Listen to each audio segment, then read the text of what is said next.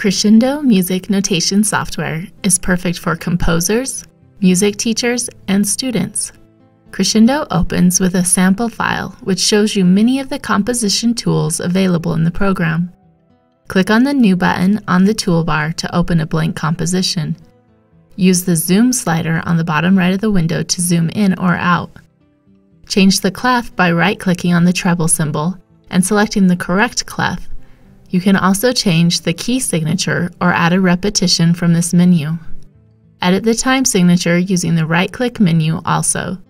Alternatively, you can make edits using the Signature button on the Notation tab by selecting a signature, then clicking on the staff you would like to apply it to. To add a note, simply click on a note in the Note toolbox, then click on the staff. When a note is added, the Note menu opens.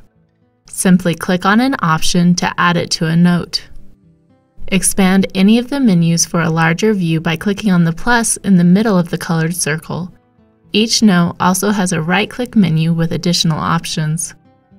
To add additional parts to your composition, click on the Parts button on the Score tab. Then, click the New Part button. As you move to empty parts of your page, a new staff will appear. You can change the time signature at any point by right-clicking on the bar and selecting the new time signature. On the right side of your screen, you will see the Dynamics toolbox. Click on a dynamic to select it, then click on the staff to add it to your composition. To name your score, right-click on the default title and select Edit. Enter the title in the text box that opens. You can also make changes to the font from this menu. Play your composition using the Play button on the Score tab. It will start playing from the selected note and will highlight each note as it is played. Click on the Help button in the upper right corner to read the Crescendo Help Guide. For more Crescendo video tutorials, visit the address shown on your screen.